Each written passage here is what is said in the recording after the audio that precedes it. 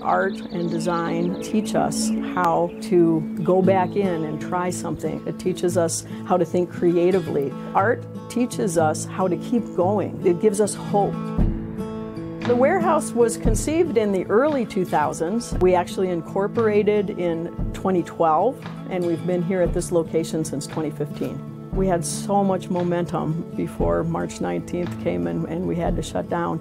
We only have six wheels in our ceramics area, and, and they were filling a month ahead of time. It was a surreal moment when the news came through that we were being required to close the doors. You know, we still had to pay our mortgage and we still had to pay the internet bill and the light bill and the garbage you know, worrying about Angela, my right hand person, and she just recently got engaged and she just, you know, she graduated from Stevens Point just a year ago. So, you know, you, you can't just start calling donors because lots of people were being laid off, lots of people were being sent home. It was a very, very traumatic time.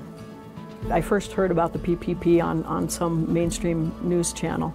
Julie Paez suggested that I call People's State Bank. We have an existing relationship because they are so community oriented. So it was just a natural to call Denise, you know, in the commercial loan department at People's State Bank to get the ball rolling. She made me feel like I was an important family member that she was getting this taken care of, even though I knew, you know, she was inundated.